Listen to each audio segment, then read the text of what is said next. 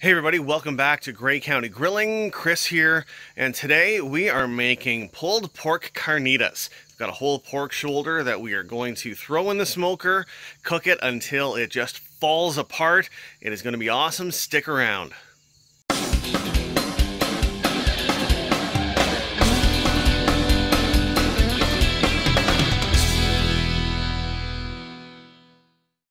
Here is the pork shoulder that we're going to be using for our pork carnitas tomorrow when we finally get it on the cooker.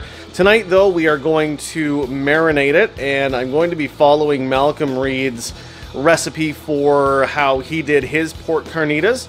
First step is to coat it with some all-purpose rub, and for that, I have some garlic pepper, although it's not really pepper, it's garlic, salt, and pepper. So that is going to give us a good base coat. And I'm just going to get that flipped over and do the other side, and we'll be right back. The pork has been seasoned on both sides with the salt, pepper, and garlic. Next, we're going to get some chipotle peppers in adobo sauce. And what you want to use is about half of a small can and just kind of smear that all over like that. Try and get as much down into the little cuts as you can. All right, we're to flip it over and do the other side as well. And we have the pork shoulder coated on both sides with the chipotle peppers. Next, we've got it in a giant bowl. You can see here uh, in Malcom's video, he uses a gallon Ziploc bag, but I don't have that on hand, so we're just using a giant-ass bowl. Next step, we're going to add in orange juice.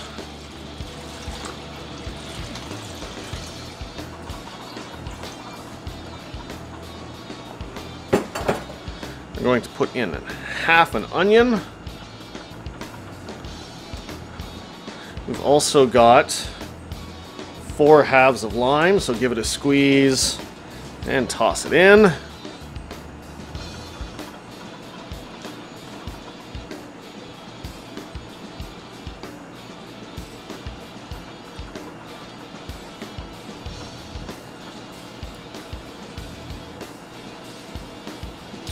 we go. And then four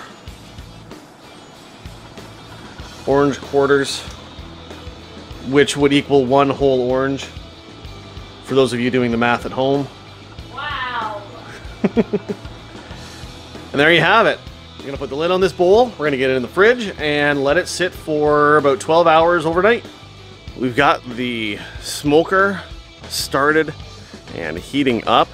We're looking for a grill temperature of about 275 today. And for the first four hours, just like Malcom Reed did, I am not going to worry about the internal temperature of the pork shoulder. All I'm going to be looking for is the development of the bark and good color.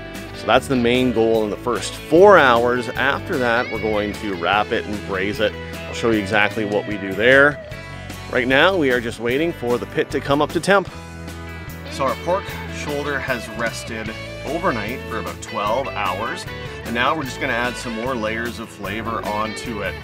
So first, we will hit it with the salt, pepper, and garlic just a little bit.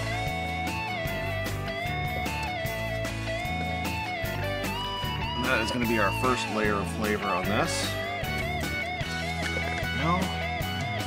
Second, we're gonna use just some chili powder and that is going to give us our southwest flavor and it is really going to add a lot of color.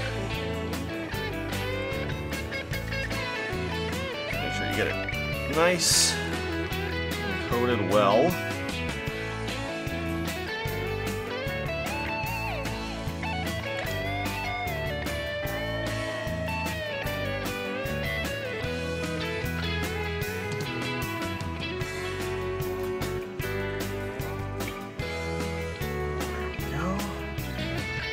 And then ground cumin. Don't have a whole lot of it, so I'll just kind of do what I can over it here. You don't need a whole lot. of the cumin to add a really good layer of flavor.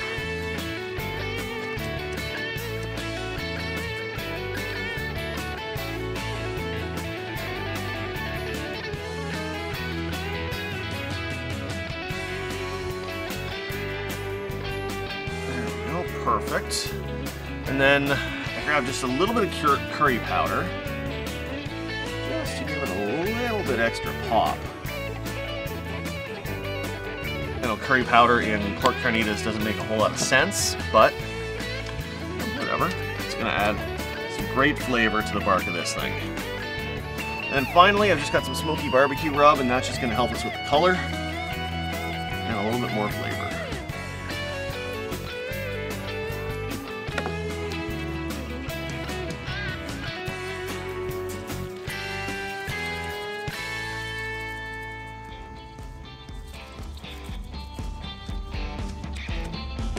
All right, that's the pork butt. We are ready for the first step. Just waiting for the smoker to get up temperature, then we'll be on our way. We hit 275 on the smoker, so it is time to get the pork shoulder on.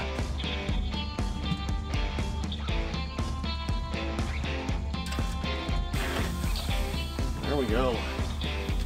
No, nothing fancy. Just throw it on.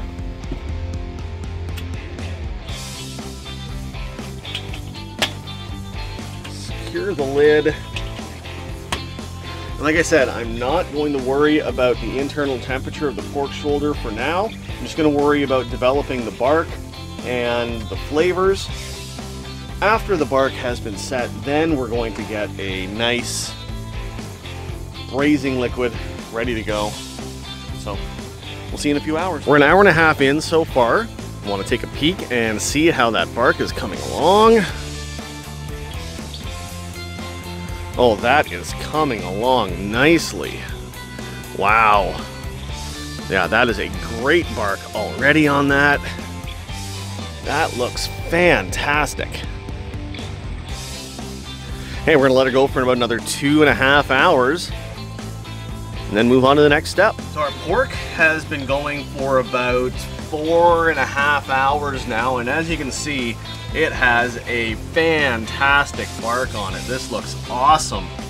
So it's time for us to get this thing braising. First, we are going to add some tomato juice. Just dump it right in. So I'm gonna use about half a can. I don't have a whole lot of space in here. Then we are going to add in some orange juice. Well, and this is really going to add some great flavor while it's braising in here. And color too. And color. We got some limes. Squeeze the lime juice in.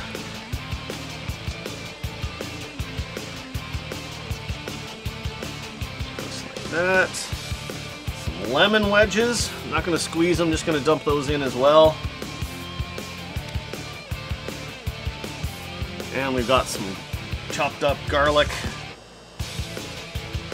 Throw those in. And then to top it all off, we're gonna throw in a few bay leaves. Appetizing in the making. Appetizing in the making. There's one, and two, and that's kind of a third, so there we go. Three bay leaves in there. And then I'm gonna wrap her in foil put her back on the smoker and she's gonna go for another three hours. So I'm also going to put a temperature probe in here at this point as well because now I'm going to check for the internal temperature. I'm gonna bring her up to about 202, 203 and then it should just fall apart perfectly. Stick around. So the ThermoPro is reading 203 internal temperature on the pork shoulder so what I'm gonna do now is take my instant read and check with that through the tin foil. And I'm also gonna probe for tenderness. What are we getting here? 200, 202. I'm feeling a little bit of resistance yet. And that's reading 205. Oh, there's the bone.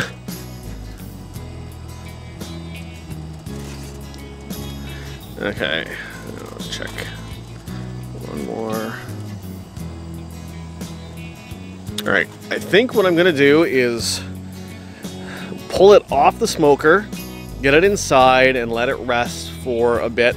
I mean, it's done way early anyway. It's only about 3.30 in the afternoon. I didn't think it would be done this soon. It's only been six and a half hours. So I'll take it inside. I will probably just stick it in the oven just to uh, let it rest. And we'll check it in a little bit. Okay, folks, here's what's left of it. Now, you may have seen that we missed a step after we took it out and pulled it apart, but that's because we had company over and it smelled amazing and we were all just ready to go. So this here is what it was frying or not. It was cooking in for the last few hours of cooking. You'll see some citrus and tomato juice in the bones there, which pulled right off. Yeah, the bones came out so clean. And then this is the leftovers from dinner. We had eight people over and it was excellent. Everyone loved it. The kids loved it. Yeah, Still love it. The kids are picking at it, so oh yeah. Oh, that was a big The piece. seven year old just took the biggest piece. Get it out of there. So, thanks for watching. If you like what you see, hit that um, thumbs up button.